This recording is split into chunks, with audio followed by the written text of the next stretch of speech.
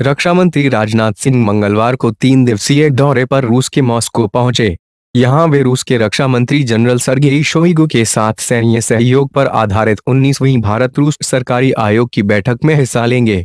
बताया गया है कि राजनाथ यहाँ दोनों देशों के बीच रक्षा उत्पादों की साझेदारी के लिए agreement on reciprocal logistic a समझौते पर भी चर्चा करेंगे।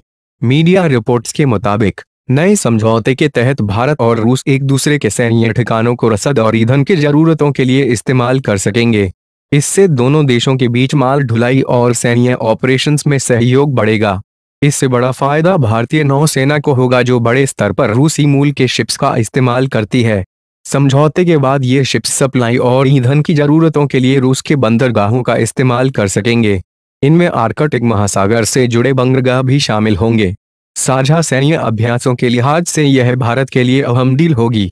समझौते का लाभ भारतीय एयरफोर्स को भी होगा जो विमानों को रूसी एयरबेस भेज सकेगी।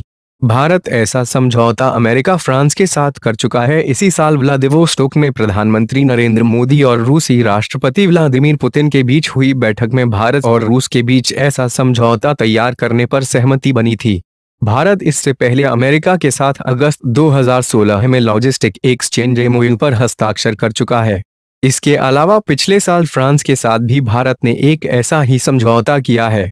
रूस के साथ ट्रांसफ़र ऑफ़ टेक्नोलॉजी पर बात होगी। भारत रूस के बीच रक्षा उत्पादों का सहयोग बढ़ाने के लिए राजनाथ यहाँ सरगेई शोइगु के साथ भारत रूस डिफेंस इंडस्ट्री कोऑपरेशन कॉन्फ्रेंस का उद्घाटन करेंगे। इस कॉन्फ्रेंस के ज़रिए दोनों देश रक्षा क्षेत्र में ट्रांसफ़र ऑफ़ टेक्नोलॉजी और मेक इन इंडिया के तहत भारत में निवेश की संभावनाओं पर चर्चा करेंगे।